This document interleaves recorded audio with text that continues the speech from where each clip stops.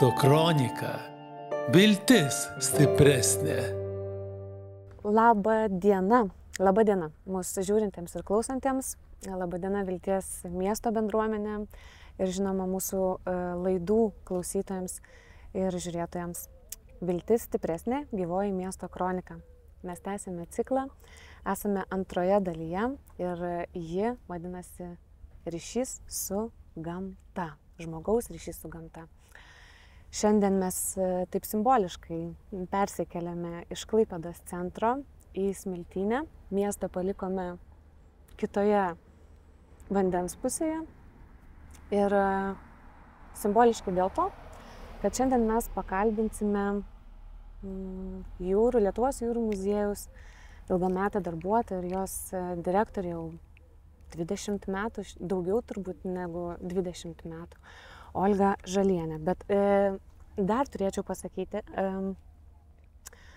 kad tai ne tik Lietuvos jūrų muziejaus e, direktorė, bet ir muziejininkė, istorikė, e, net buvo išrinkta e, metų klaipėdietė Ir ji yra apdovanota ordino už, Lietuvus, už nuopelnus Lietuvai medaliu.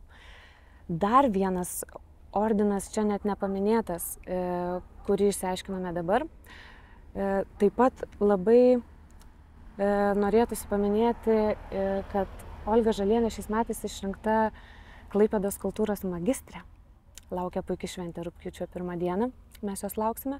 Ir va to, kurio ne, nepaminėjau ir kurio vis neįsidedu į galvą, tai dabar atsisukime į pačią mūsų pašnekovę Olgą ir pasisveikinkime ir dabar man padėkite pasakyti. Labadiena. Kai, laba diena. Kaipgi vadinasi tas nuopelnas, kurio nėra Wikipedijai? Nuopelnas apdovanojimas. Apdovanojimas. Tai vadinasi uh, už nuopelnus Lietuvai medalio Riterio kryžius. Riterio kryžius. Tai Riterio kaip skamba. Tai mes pradėkime mūsų pokalbį, po truputį judėkim ir iš karto po tiek daug išvardintų nuopelnų, e, ordinų, medalių.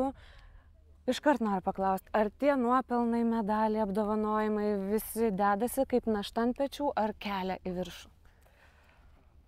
Nežinau, gal nei e, našta, nei galbūt kelia į viršų, tiesiog būna tam tikri etapai, kurie yra įvertinami, įvertinami e, ne tik tai mano nuopelnai, bet tai yra viso muziejaus kolektyvo, mano bendražygių, kolegų nuopelnai, miesto nuopelnai ir be to Lietuvos nuopelnai, nes aš kai daug kartų, va, esu sakiusi, kad tik, tikrai esam ir aš pati esu labai dėkinga už tai, kad likimas lėmė būti čia, Klaipėdoje ir paragauti ir turėti tą laisvą gyvenimą Lietuvoje, kuris ir suteikia galimybės ir kurti, ir idėjas įgyvendinti.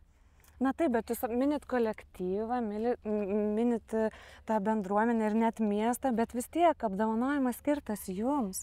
Ir kartai žmonės sako, na, bet mane įpareigoja tada, e, na, vis tiek tu ne šitą atsakomybę toliau už tai, už ką esi įvertintas, tiesa? Tu... Tai ir taip, ir, ir, ir ne. Nes jeigu tu gyvenime iš tiesų esi užsibrėžęs tikslus ir e, turi atsakomybę, kuri tavęs neslegia, o tiesiog yra kaip tavo gyvenimo būdas, tai iš, tie apdovanojimai yra tik tai, sakau, kad pažymėjimas tų etapų, bet ne įpareigojimas, nes tu turi įsipareigojimus viduje jau senai, tai, tai viską esi susidėliojęs ir tik tai žygiuoji į priekį ir E, jeigu dar turi dovaną tokią m, turėti šalia žmonės, kurie yra bendraminčiai, tai Tai to, tuomet belieka džiaugtis tais taip, apdovanojimais. Tiesiog pasidžiaugiat kartu. Taip. E, įvertino, reiškia, buvom pastebėti, taip, reiškia, taip. viską darom teisingai taip. ir galim judėti tą kryptimį. Nes, nes, nes tie apdovanojimai irgi reiškia, kad Lietuvos jūrų muziejus yra reikšmingas ir svarbus, nes jį mato. O jūsų patirtis e, vis tiek darbo uh, muziejuje yra be galo ilga, jau apie 40 metų, tiesa? Taip. Kaip keitėsi jūsų akim pats ir muziejus, ir delfinariumas, kokį, į kokį jūs į jį atėjote ir koks jis dabar yra, um, kuo, kuo skiriasi? Turbūt yra tų tokių esminių pokyčių. Taip, skiriasi labai. Galbūt nesiskiria tai, kad tas Bet užtaisas, kurį muziejaus kuriejas ir pirmasis direktorius Aloizas Každailis mums visiems paliko kaip paveldą, užtaisas žygiuoti į priekį ir galvoti tik tai apie pokyčius, galvoti apie tokias permainas, kurios e, būtų matomos ir būtų visuomeniai įdomios ir reikalingos, tai va tai, tai liko bet daug dalykų, pati forma, turinys, tos visos technologijos, plėtra, žinoma, jinai vyko nuolat. Jinai vyko nuolat ir keitėsi. Keitėsi ir žmonės keitėsi, plėtėsi kolektyvas, kelios didžiulės rekonstrukcijos, tai yra ir akvariumo rekonstravimas, delfinariumo rekonstravimas ir delfinų terapijos centro įkūrimas. Štai dabar turime ir Baltijos jūros gyvūnų reabilitacijos centrą, irgi puikia vieta ir išsvajota, kur galime globoti ir gydyti ruonius ir po to juos paleisti į laisvę. Ir vat, dabar jau pradėsim įgyvendinti ir kitą svajonę - turėti. Kaip tik norėjau paklausti, taip, o kas toliau? turėti, turėti, turėti atviras eksponatų, va tos jūrinio paveldo, kultūrinio mm. paveldo atviras saugyklas, atviras žmonėms, nes ekspozicijoje, tai ką jūs matote laivybos istorijoje, jūrų gamtos ekspozicija, kur ten kreuklės, koralai, laivų modeliai, navigacijos prietaisai, tai yra tik tai 2 procentai viso to, ką mes saugome, ką mes turime, kokias vertybės. Ir, wow, štai, vat, įdomu. ir dabar vat, prasidės um, pastato rekonstravimas uh, tam, kad galėtumėm uh, du trečdalius pastato būtent paskirti uh, šitų vertybių, kultūros vertybių saugojimui ir prie, prie, prieinamumui prieinamumui visuomeniai, mokslininkam, tiem patiem moksleiviam, žodžiu, bet tas Plėstis laukia, dar, dar, dar šitas žingsnis yra jau žengtas, pradėtas, tai, tai vat matysim, kaip čia mums seksis. Linkim sėkmės didžiausias, toj pravažiuos motociklininkai. O sakykit, gerai, mūsų tema šiandien yra žmogus ryšys su gamta. Jūs miesto žmogus ar gamtos? Ir miesto, ir gamtos, nes iš tiesų atgauni jėgas, atgauni dvasinę pusiausvyrą gamtoj, būdamas miške, būdamas prie jūros. Ir ypatingai dabar, galbūt anksčiau, taip jaunystės metais toks būtų daugiau gal hedonistinis požiūris į tą gamtą, kad vad ką, ką jinai tau duoda. Dabar vis tiek tu pradedi matyti ją kitaip ir galvoti apie tai, ką tu gali duoti ir ką tu gali padaryti, kad išliktų gamta tokia, kokia, bent jau kokią mes ją radom. Labai, labai svarbu klausimą palėtėt. Iš tikrųjų, ryšys yra ne vienpusis tiesa. E mes iš jos tikrai labai daug gaunam. O ką mes galim jai duoti, kaip jūs galėtumėt įvardinti? Aš, pavyzdžiui, asmeniškai galvoju, gerai, mes galim pakelti šiukšlę. Mes galim nelaužyti medžių, nežinau, čia tokie elementarūs. Bet jis gal iš savo profesinės pusės neteršti jūros, turbūt tiesa.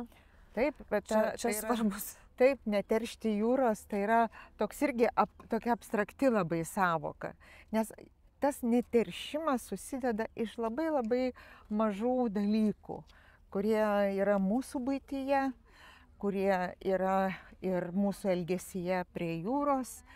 Tai nes visos upės, visas išvalytas vanduo per dirbožėmį, per visur iki suteka į jūrą. Tai. Ir tai įtakoja ir gyvūnų įvairovę, e, e, gelmių gyvybės būklę. Tai, e, Tai čia svarbu Mums- ne tai- tik klaipėdiečiam klausytėm, bet visai, visai Lietuvai. absoliučiai čia yra visiems labai Per svarbu. vandenį Taip, atkeliauja iki Ir, mūsų. ir, ir tai, vat, ką dabar mes darome irgi Baltijos jūros gyvūnų rehabilitacijos centre, toje edukacinėje erdvėje, tai vat, ir bandom parodyti, kad nesvarbu, kur tu esi, ar tu esi čia pat, deš- kilometrų atstumu nuo jūros, ar tu esi e, už 100-200 km.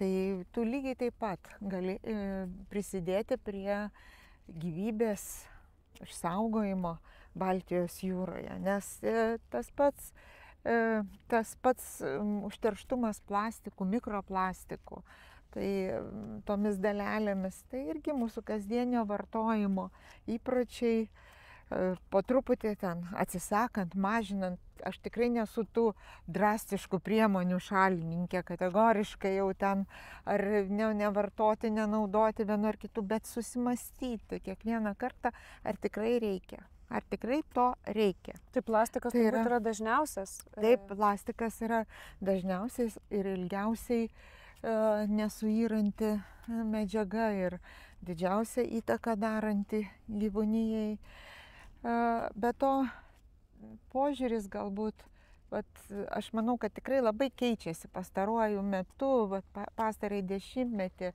Tikrai e, suaugę įtakojami savo vaikų, kurie dabar e, jau tampa patys tokie reikšmingiausi ambasadoriai, e, aplinkosaugos, ekologijos ambasadoriai.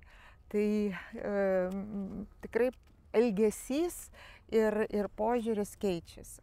Gal čia reikėtų irgi padėkoti ir visom edukacijom, kurios vyksta tiesa, ypač Taip. mokyklinio amžiaus vaikai, kai atvažiuoja, kodėl jie tampa tokie ne tik vieni gauna iš šeimos, tikrai labai daug, visa šeima kartu e, tą daro, bet Taip. ką vaikas parsineša ir iš e, aplankytų tų edukacijų, man atrodo, tai irgi labai didelį įtaką. Taip, daro. Anksčiau nes, e, nebuvo jūrų muziejų edukacijų tiek daug tiesa. Tai e, gal e, prieš kokį 10-15 metų mes labai e, užkūrėm šitą veiklą, bet užkūrėm ją e, ne tokiu principu, kad tai yra pamoka, kad tai yra kažkas tai, kažkokia paskaita. Tai yra e, klausimų kėlimas ir patiems ieškojimas atsakymų į tuos klausimus per e, įvairiausias užduotis, per įtraukti, per tokį sąmoningą suvokimą, ne per didaktiką konkrečią, Aha. bet per, Per sąmoningą, jo, per Mhm. sąmoningą suvokimą. Tai taip ir, ir šiuo, e, kad ir šį pavasarį labai buvo didžiulis susidomėjimas ir, ir Baltijos jūros gyvūnų rehabilitaciniam centre vyk, vykstančiais užsiemimais. Taip pat ir laivybos istorijos, vat, jūrinės Lietuvos a, temomis. Tai, žodžiu, taip, jaun, jaunimo labai, labai sulaukiam daug. Reikia pasidžiaugti tikrai, man atrodo, kad e, kai, kai muziejus gali sudominti, man atrodo ir visoje Lietuvoje dabar panašiai taip vyksta, kad muziejai at, atgyja, kažkaip atranda kelią į, į, į jaunųjų žmonių širdis per visas va, tas patiriminės edukacijas ir, ir taip ir Lietuvos visas paveldas. e, Ir, ir tarmės ten būdavo, atsimenu, ir baltų muziejai šiuliuose puikus taip. yra ir čia mes dabar. Taip, muziejai tokį tampa, nuostabų. tampa mokymosi erdvė ir, ir tokia kokybiško, gilaus mokymosi ir pažinimo erdvė. Kaip manot, kodėl taip atsitiko, kodėl mokyklos taip dabar e, išeina į tas e, tokias kitas erdves mokytis?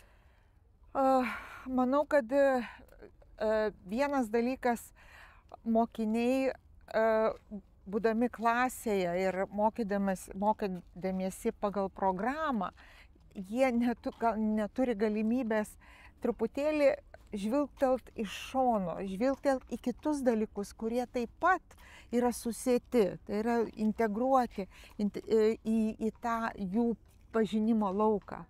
Ir pateikimas pats muziejuose per realius objektus, per e, ta, tuos objektus, kurie e, turi sąsajas ir su praeitim, ir su dabartim, ir netgi su ateitim, tai e, yra pats, pati didžiausia motivacinė priemonė ir pati, galbūt e, patiriminė didžiausia priemonė, kuri leidžia e, tam pačiam mokiniui be didesnių pastangų, be kalimo, per, per žaidimą, per e, sąveikavimą.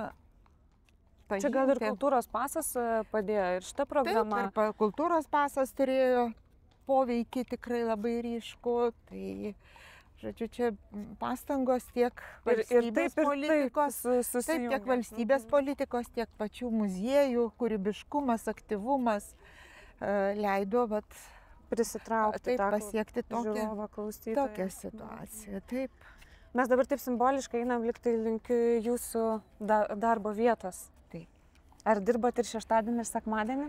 Ar leidžiat savo pailsėti? Dabar, dabar stengiuosi to jau nebedaryti, bet dar netaip senai lėkdavau kaip išprotėjusi bent vieną iš šitų dienų poilsio, būtinai patikrinti, pasižiūrėti, kaip čia viskas veikia, bet jau kurį laiką to nebedarau.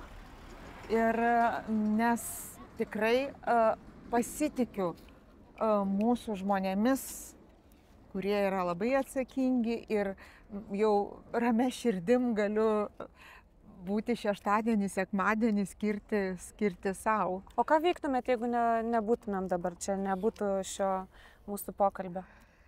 O, vat, nežinau dabar, ką, nes plano tokio neturėjau, nes turėjau čia šitą planą. tai, tai e, šiaip tai savaitgalį vis tiek irgi mėgstu ar prie jūros, ar į mišką uh, nueiti. E, nuvažiuoti kur nors irgi pasivaikščioti, pasibūti, su draugais pabendrauti. Skaičiau, tai, kad mėgstat gribauti. Mėgstu. Žinot, gribauti, prasidėjo Vavaruškos dzukijai. O, tai aš ten ne, nevažiuoju, aš gribauju tik aplinkui, bet Klaipėdos rajone.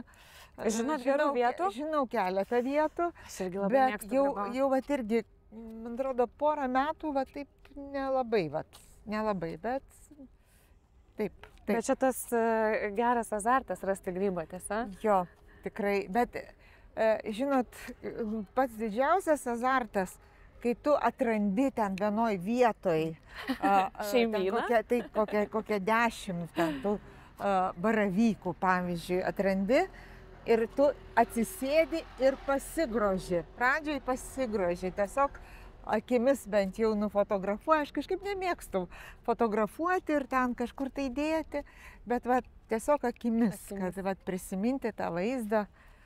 Tai, va, taip.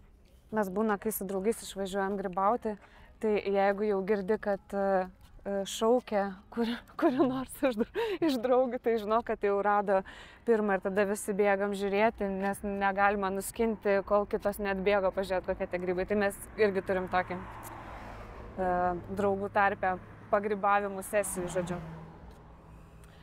Aha, nukeliavau mintim apie grybus ir čia, čia ir jachtos e, plaukia, numuša visas, visas mintis. Bet vis tiek yra smagu, vat, kada, Veiksmas, e, kada mes irgi, vat, kad atranda ir klaipėdiečiai, ir, ir lietuviai atranda marės, atranda jūrą, va, kiek, įsig, kiek pilies uoste yra jachtų, kiek yra laivelių. Tai labai smagu, kad plaukiam, kad lietuviai plaukia. Kad lietuviai plaukia. Ja. Aš visai netradus esu šitos, e, šito, tokio, nežinau, čia ir sportas, ir laisvalaikio būdas. Turbūt kas turi tos laivelius, Taip. visi išplaukia ir, Taip. ir pasimėgauja. Kaip jums, e, nežinau, šiais metais ar, ar, ar kokį penkmetį pats Klaipėdas miestas atrodo? Kuo jisai, kuo jisai gyvena?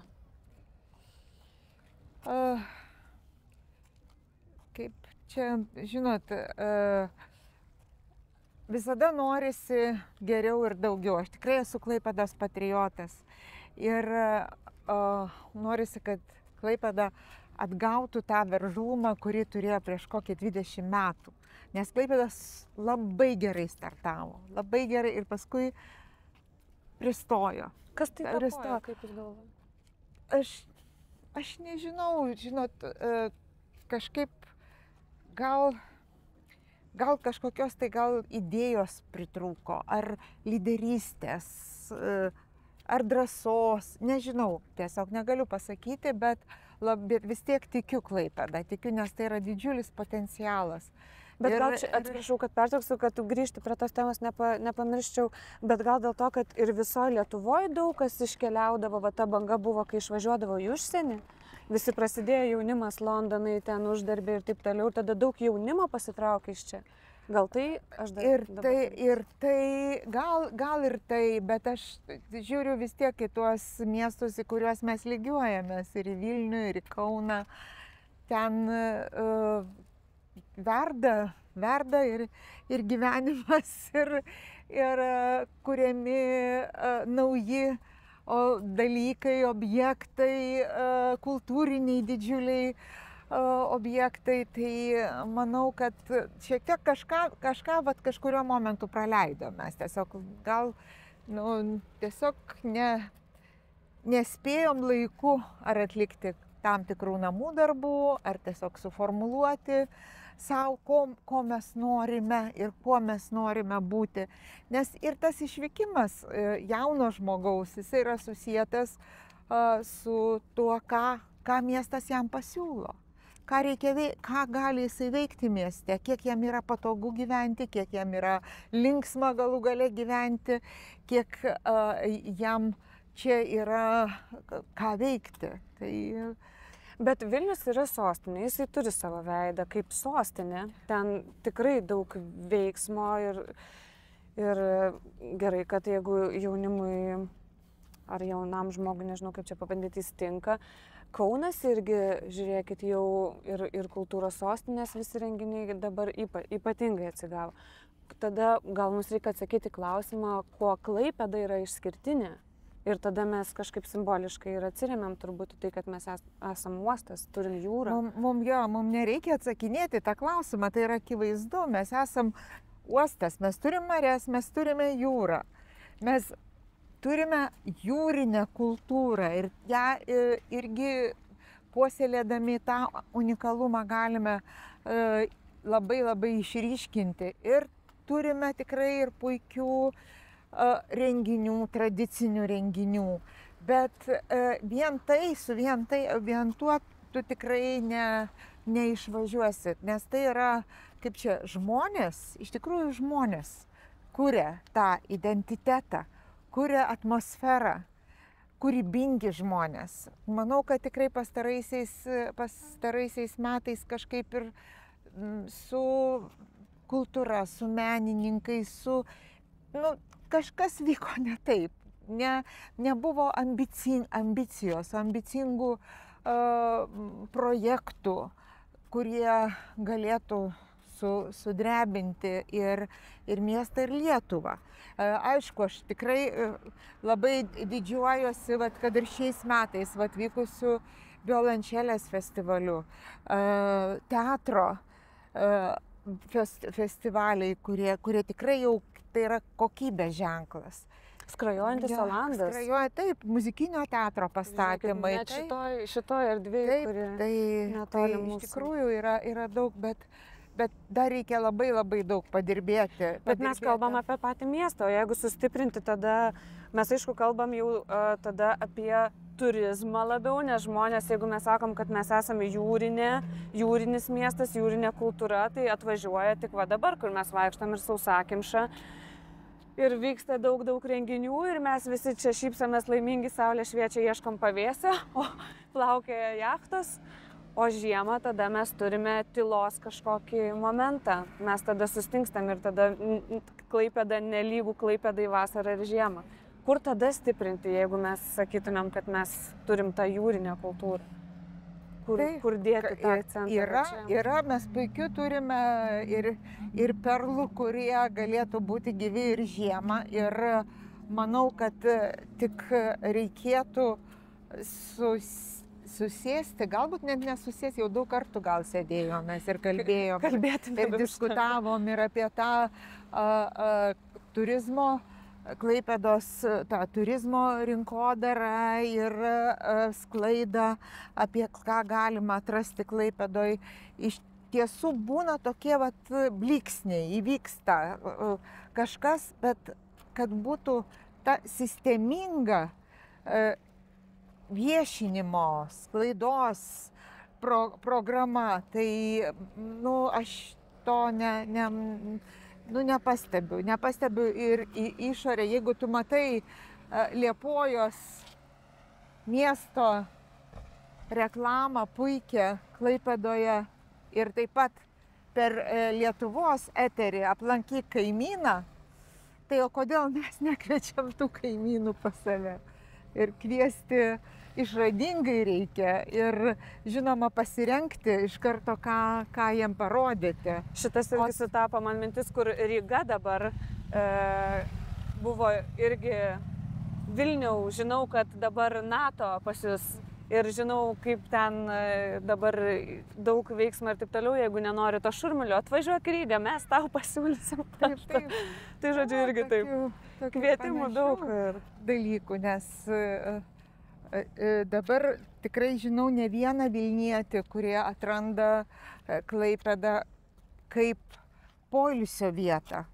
Vasarą. Jie nenori vykti į palangą, jie nenori e, vykti į neringą, nes jie nori būti ir mieste, ir gamtoje. O čia viskas šalia, tu persi, persikeli keltų ir tu, tu, tu esi gamtoje, tu esi prie jūros, nori tu būni mieste, nes ir mano, va, aš, jūs paklausėte, ar aš miesto žmogus, Mhm. Tai iš tiesų, nes aš gyvenu pačiam centre miesto ir aš neįsivaizduoju, kad aš galėčiau gyventi kitur, nes aš noriu būti ten, kur verda tas gyvenimas, kur yra socialiniai ryšiai, kur tu išeini į gatvę ir su vos ne kas trečiu ir ketvirtu tu pasisveikini ir persimeti keliais žodžiais. Tai tas uh, socialini, socialiniai tie dalykai, tai jie uh, nu, yra labai svarbus. O aš kaip tik pabėgau iš centro. Nu, va, o aš, o aš tai Ir tik pastebėjau, kodėl, aš galvau, kodėl nėra žmonių kartais, va čia apie rudenį, apie Taip. žiemą. Ir aš supratau, kad vis tie žmonės yra užmesti, kol pati ten ne, ne, nepabėgau, žodžiu, į, į patį kraštelį. Tai, Galvau, Jo, taip, va čia ir kamščiai rudenio- prasideda. jo, iš, iš, iš jau iš kitos pusės grįžtant į miestą, Mhm. taip, tai jau irgi susi, susidurėt su kliūtimis. O jums Klaipėdas miestas žalias?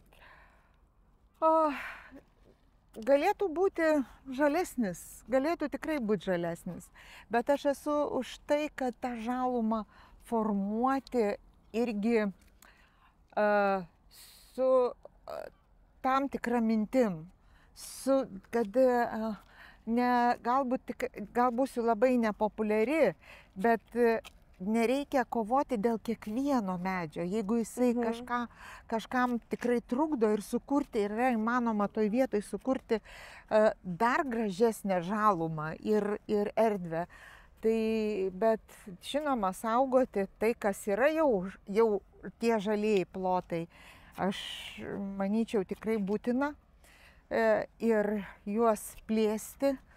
Ir plėsti gal e, irgi išradingai, žiūrėti, kaip čia tos e, urban, urbanizuotos, labai urbanizuotos vietos jos galėtų sužaliuoti.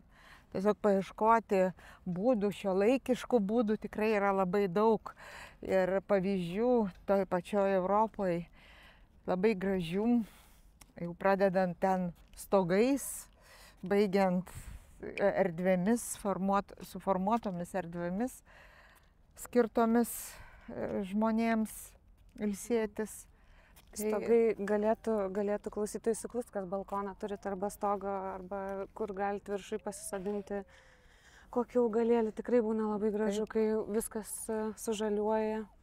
Ir Taip. turime ir savo daržą, ir pomidorus, Va, ir taip, cukinės, ir tai agurkai puikiai auga, žinokit. tai va. Tai va. O dabar žiūrint į, į visą šitą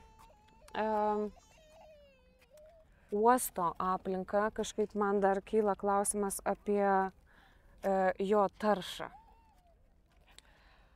Oh, Kaip mes čia su juo gyvenam? Klaipėdiečiai buvo e, dalis e, tą miesto labai supykusi e, dėl savo vaikų, dėl taršos, kaip ten juodas palangės. Esat susidūrusi su šią A, problemą? aš, ne, aš nesu susidūrusi, nes manęs nepasiekė Mhm. tos dulkės, e, bet mm, tikrai manau, kad 21 amžiui yra technologijos, e, kurios privalo užtikrinti švarų orą, išvengti taršos ir negalima daryti pinigų žmogaus sveikata, sveikatos sąskaitą. Mhm. Ir, ir e, jeigu mes gyvename ir esame prie vandens, o vanduo tai yra iš tiesų gyvybės, gyvybės šaltinis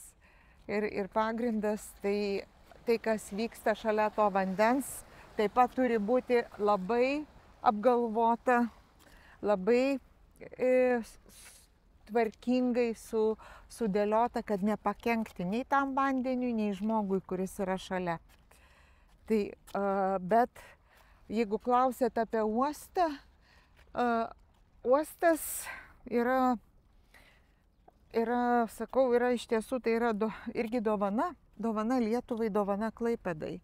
Jeigu tai yra uostas, kuris vykdo subalansuotą ir a, ekologiškai tvarę veiklą, tai valstybė, kuri turi uostą, iš tiesų yra laimėtoja. Yra laimėtoja e, ir į uostą, uostas turėtų būti mums kaip, nu, irgi kaip, kaip dovana ir turim sugyventi su tuo. Turėtų būti toks taip, pasididžiavimo taip, jausmas, o kai taip. kuriems net būna, kodėl vykdomas visas šitas veiklas, kodėl mes nuo to kenčiam, nes Mum tikrai reikia- labai arti žmogaus. Mums reikia reikalauti, būtent turim reikalauti, kad tos technologijos būtų e, kiek įmanoma efektyvios, e, apsaugant net neįmanoma, kaip čia gal neteisingai, net, pasi, pa- net neįmanomai, o būtinai efektyvios, e, kad apsaugoti žmonių sveikatą ir, ir gamtinę aplinką. Kažkaip paprastas žmogus nebūna išgirstas. Man atrodo, kad būna tokio daug, atsargiai, daug, daug tokio pasipiktinimo, atrodo, beldžia į visas duris, šaukia, bet niekas e, netlėpia ir tos galingos bendrovės, nežinau net e, kaip čia įvardint, kurios vykdo tą, tą veiklą, e, būna kažkokios nepasiekiamas. Paprastas žmogus būna toli nuo, nuo visų kažkokių didelių įmonių vadovų, nežinau kaip čia įvardinti, bet toks jaučiamas atsargiai aha, e, sk- skausmas dėl, dėl to, dėl tos taršos ir dėl visų žmogui sukeliamų e, nepatogumų. Kas Sukamės. žiūri, Sukamės, kaip tik e, priminsiu gal žiūrovams, su kuo mes šiandien e, kalbamės su ilgametė Lietuvos jūrų muziejaus darbuotoja ir jau 20 metų šios įstaigos direktorė Olga Žalienė. Kalbam ir apie ryšį su gamta, ir apie taršą, ir apie miestą, ir apie e, Klaipėdą. Dabar apsisukom ir toks turėtų pasikeisti ritmas laidos. E, Iš tikrųjų, mūsų laida vadinasi Viltis stipresnė. Kalbant e, apie viltį, visą laiką paklausiu e, pašnekovo, kokie yra didžiausi iššūkiai gyvenime, ne tik darbe, e, apskritai gyvenime, su kuriais e, susidurėm. Tai čia bus pirmas klausimas, o po to ieškosim, jeigu jų yra, kurgi tos vilties semtis. Ar būna taip, kad nusvyra rankos ir atrodo situacija yra beviltiška? būna. Kokiose Būna, situacijose? būna net ne, ne taip gal ir dažnai, bet, e, bet būna, kada atrodo, kad darai, kaž, darai, darai, darai, eini, eini į priekį ir staiga a, kliūtis ir atrodo, kad jinai neįveikiama ta kliūtis. Bet nieko naujo matyt nepasakysiu, kad svarbu sustoti, pagalvoti, kad šiandien viską, ką tu darai dabar šiandien, tas ir susiprojektuos rydiena ir bus a, ta rydiena tokia, kokia tu dabar, vat, šiandien tu ją padarėjai. O jeigu tu galvosi negatyviai, a, priimsi tą situaciją tikrai kaip beviltišką situaciją, tai nieko gero ir nebus. Tiesiog apmastai, susidėlioji žingsnius, nu, nusiramini, pagalvoji apie, apie tai, kas yra iš tiesų svarbiausia, kad tie dalykai galbūt, kurie tave išbalansavo, nėra, nėra tokie jau visai uh, lemtingi ir, ir tragiški ir, ir, ir, ir žygiuoji į priekį. Žinoma, neviltis, e, didžiausia neviltis yra, tai žinom, kai netenki artimųjų, tai ten reikia jau ilgiau laiko, daugiau laiko susivokti ir suprasti, kad tai įvyko tai to, ko tu negali pakeisti. Tu negali to pakeisti ir, ir, ir turi pasirinkti. Pasirinkti arba gyventi ir žiūrėti į priekį, ar tiesiog paskesti tame liūne. Laikas gydo, sako tiesa.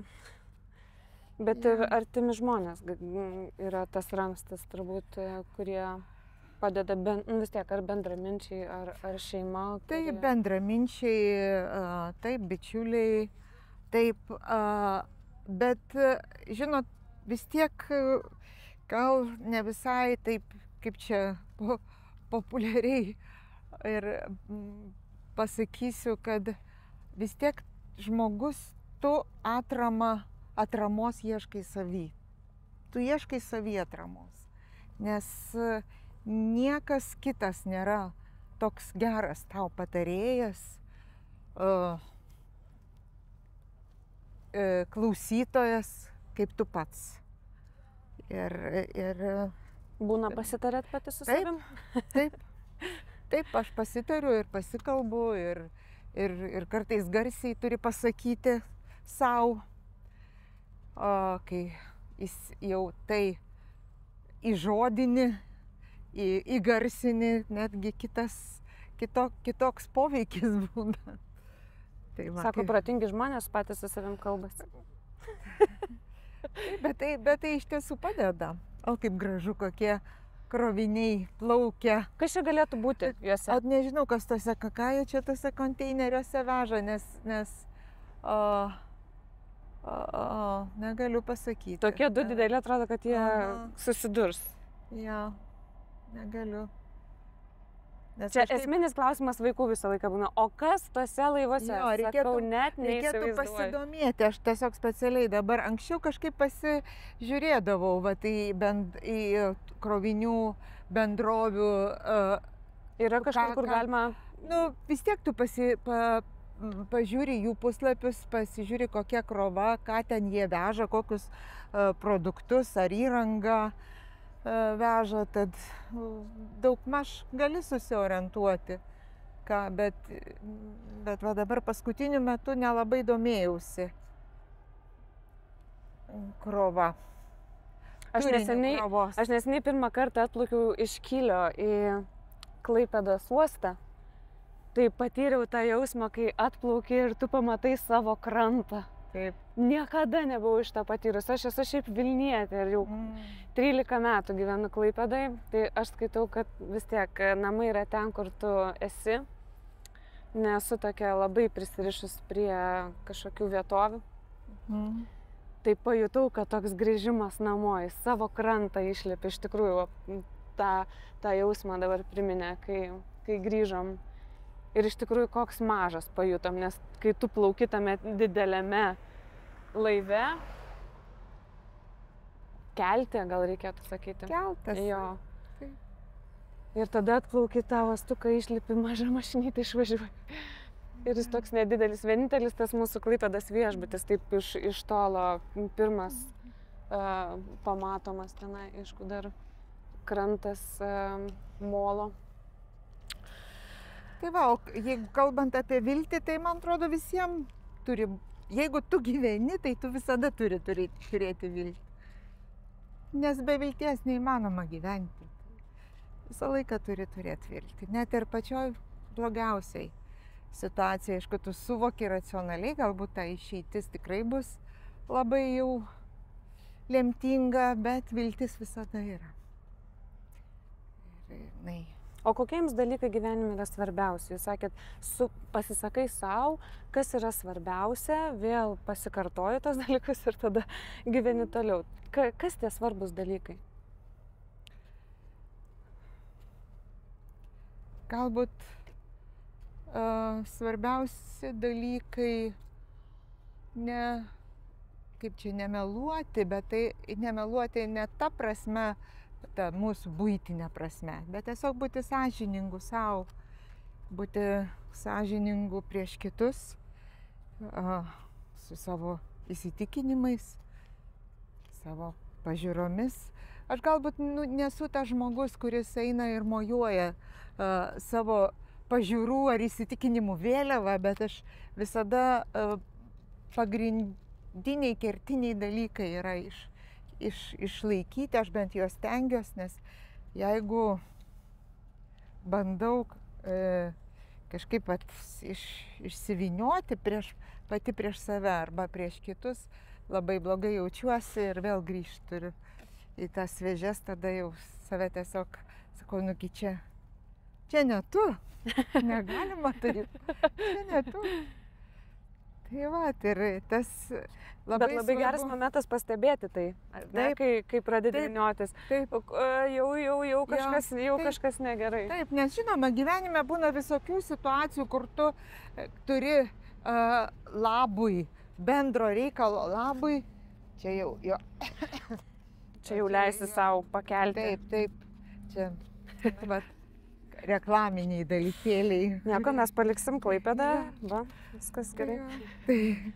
O tos tai. pamatinės vertybės, e, jos atėjo iš šeimos, ar jos laikui bėgant e, kažkaip su gyvenimu einant susiformavo?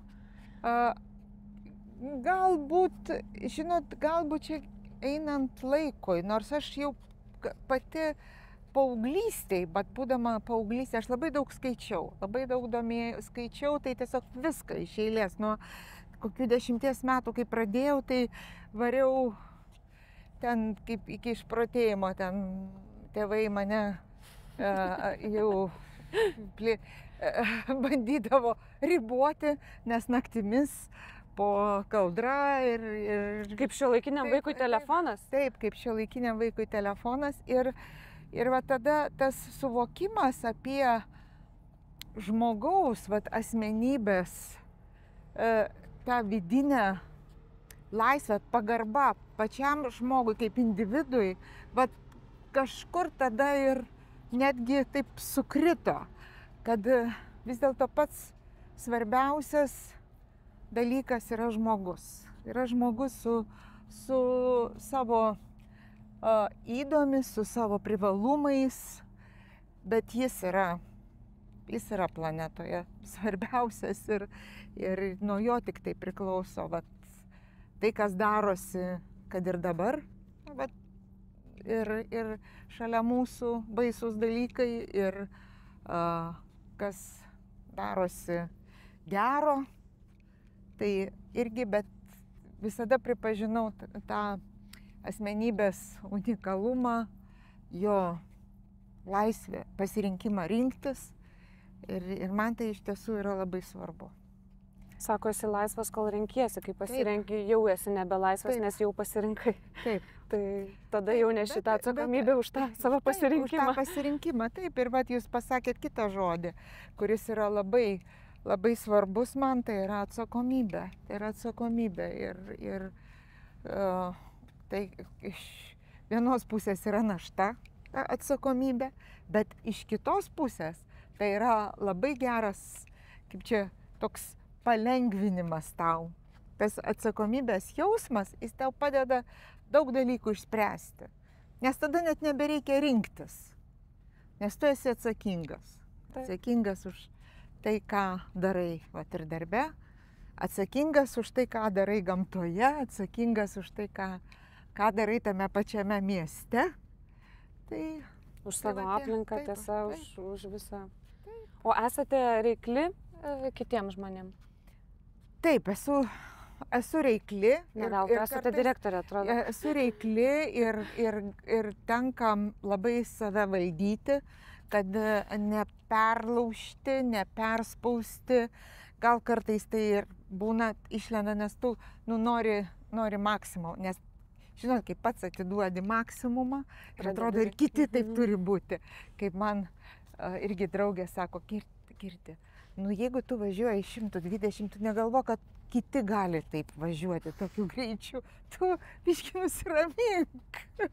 tai va, tai, tai būna, būna visokių dalykų, bet tiek, kad užtenka išminties ir tai pripažinti, kad, nu, galbūt tikrai čia gal nereikėjo tiek to, tas žmogus nelabai gali. Tai, tai va. Bet smagu, kad pradėjome laidą nuo to, kad jūs la- labai pasidžiaugiat savo dabartiniu kolektyvu Taip, ir darbuotojais. Tai, tai man atrodo dabar ir vardinat, kad ir reikli, bet, bet viskas dabar tokiam sklandžiam taip nes, nes visada, žinot, kas yra irgi svarbiausia, kai tu matai, kai šalia tavęs esantys žmonės, jie yra ne tik bendrami, bet jie irgi augantis. Jie auga, jie prasiskleidžia, jie uh, mm, tampa, tampa dar kūrybiškesniais. Ir tai yra, nu, tai yra didžiausia dovana. Jeigu mums dabar reikėtų parašyti, na, dėkim, trijų metų Klaipedas e, miesto viziją ir mus išgirstų, jūs išgirstų, ką įrašytumėte tą viziją? Ir sakytų, jau ką parašė Olga Žalienė, tą tikrai gyvendins. O Dieve, tai jau tai, va čia kur yra atsakomybė. E, Ir, ir jo labiau, kad čia, žinot, einant va, žiūrint į nu, nužydėjusias alyvas, dabar pagalvoti apie viziją. Nors, aišku, Bet va, daug, taip, daug kartų, daug kartų, daug kartų apie tai galvojau ir e, dėliojau. E, žinot, vizija yra vizija. Taip, labai geras dalykas, tu gali čia kelti ambicingus tikslus ir negalvoti apie tai, kaip tu tą padarysi. Jau tegul kiti galvoja, Taip, taip. kaip tą padarys. Čia tokia kaip svajonė skamba toks. A, labai norėtųsi, tai, kad Klaipeda būtų a, pilna šurm- šurmuliuojančio jaunimo. A, daug jaunimo, daug jaunų šeimų.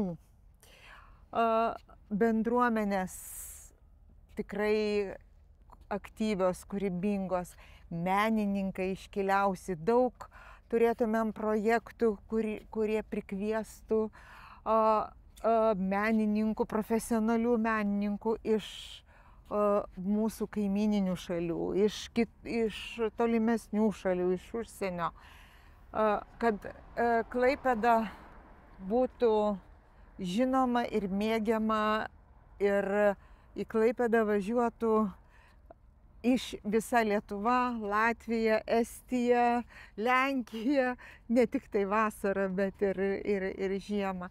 Ir, e, o manau, kad tie dalykai yra pasiekiami, tikrai pasiekiami ir subūrus pajėgas ir mokslo, aukštojo mokslo, e, kultūros lauko dalyvių ir verslo, tai yra, yra pasiekiami. Mhm. Reikėtų kažkur užfiksuoti šias mintis ir pasiklausyti šitą interviu, nu, bet jisai išliks, mes įkelsime ir tada pasižiūrėsim po trijų metų, kas išsipildė ir kaip, aišku, tokie dalykai nepasidaro nei per tris metus gal. Taip.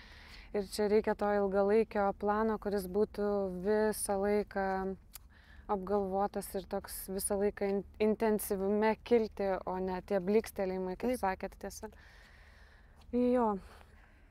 E, o ko palinkėtumėt e, tam klausytojui, kuris gal dabar klauso ir vat, yra toj, na, galim pavadinti beviltiškoje situacijoje ar tokiam sunkesniam gyvenimo etape. Mes daug pakalbėjome apie jūs, bet taip jeigu apibendrinant ir, ir kad jeigu jis dabar klauso, jeigu jis išgirstų ir taip uh, užsidėtų tašką ant į. O jeigu reikia kažkokios ugnies, liepsnos, kuri o, pažadintų ar suteiktų viltį, jeigu pats pačiam neužtenka jėgų, tai iš tiesų prašyti, prašyti pagalbos kalbėti su artimaisiais, bet nepaminti to požiūrio, nes jūs pats esate gyvenimo, savo gyvenimo statytojas ir kuriejas. Ir be jūsų pačių pagalbos savo niekada nieko nebūna.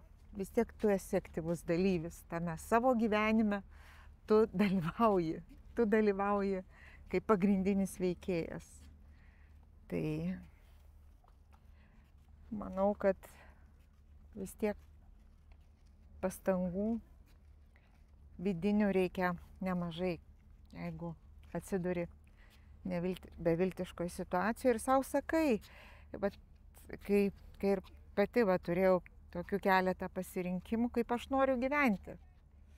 Ar aš vis dėlto noriu matyti saulę, jūrą, galų galia būti laimingam. Tai, tai aš tą turiu pati padaryti. Tai va. Dabar žmonės tokiam irgi bėgime būna, kad sako, gyvenu dėl to, kad e, dirbu, dirbu, dirbu, tada savaitgalio labai laukiu, nes tada ten prie, prie ežeriuko atsigaunu greit gamtoje, va čia ryšys su gamta. Ir po to vėl dirbu, dirbu, dirbu, dirbu, dirbu. Ir ateina kažkokia jaunų uh, žmonių uh, banga, kuri pradeda daugiau kalbėti apie tai, kad mes turime dirbdami džiaugtis tiesa. Ar jūsų profesija atnešė jums džiaugsmą? Man atrodo, kad jūs vien tik už tai, kad esate tiek įvertinta ir nominuota, jau įrodo tai, kad jūs pasirinkote savo profesiją teisingai ir darbė jūs irgi mėgaujate savo darbu ir visais kūrybiniais procesais, visom naujom idėjom. Tai irgi atneša labai daug džiaugsmo į gyvenimą. Tiesa, nesate tas žmogus, kuris laukia savaitgalio, kad galėtų pailsėti. Uh, taip, darbas, žinoma, darbas nėra ištisinis džiaugsmas bet tu pats turi irgi susikurti ir pamatyti tas, tuos džiugius dalykus savo darbe ir tu gali juos pamatyti. Ir e, dabar vat, jau kurį laiką netgi e, pati praktikuoju ir pašnipždu savo kolegom, kolegos sakau, prisiminkite, pavyzdžiui, šiandien, kokie buvo trys patys smagiausi darbai, kuriuos jūs šiandien padarėte. Ir aš pati savo mhm. taip sakau. Nu, vat, ir tu prisimeni ir tas darbas, visa ta diena tampa džiugi. Pasirodo, tikrai buvo tų darbų tokių, kurie atnešė džiaugsmo ir, ir naudos, ir laimės. Tai čia, čia visi, visi suplaukė, suplaukė visos sudėdamosios dalis į vieną ir vis tiek, kad supranti, kad tu gali ieškoti e, blogų dalykų, bet gali ieškoti ir gerų dalykų. Taip, ar tu matai pustuštę stiklinę ar, ar puspilnę tiesą? Taip. Nuo to požiūrio taško. Atrodo, kalbam labai e, tokius e, suvokiamus, aiškius, suprantamus dalykus, bet e, tam ir skirta šitas laidas, kad mes juos vėl primintumėm, vėl pasikartotumėm, vėl vardintumėm, nes kartais e, tikrai gal ir mūsų klausytojai užsisuka užsisuka tame gyvenimo rate ir neveltui klauso šių laidų, kad vėl išgirsti, e, vėl kažką pasikartoti, gal ar naujo išgirsti, susipažinti galbūt su nauju e, žmogumi, su jo profesija, su jo mintimis. E, prieš plaukdami e, keltų, e, šiek tiek jaudinantis tiesa, koks bus tas pokalbis, apie ką mes kalbėjom, apie ką mes kalbėsim, kaip dabar e, jausmas. Gal kažko nepaklausiau, gal norėjot Ne, kažką ne, pasakyti? Viskas, viskas, viskas gerai. Yra, e, visada yra, yra smagu, kada uh, pokalbis tiesiog plaukia. Jisai ne, e, nėra gal ne, ne, ne visada tas struktūruotas, griežtas, uh, sudėliotas pokalbis, jisai būna uh, nuoširdus.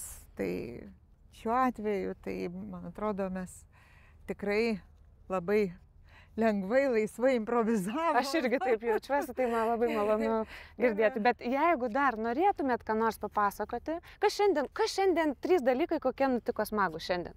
Užbaikime jūsų tą tradiciją apie dieną. Pasikartokim. Kas šiandien smagaus įvyko?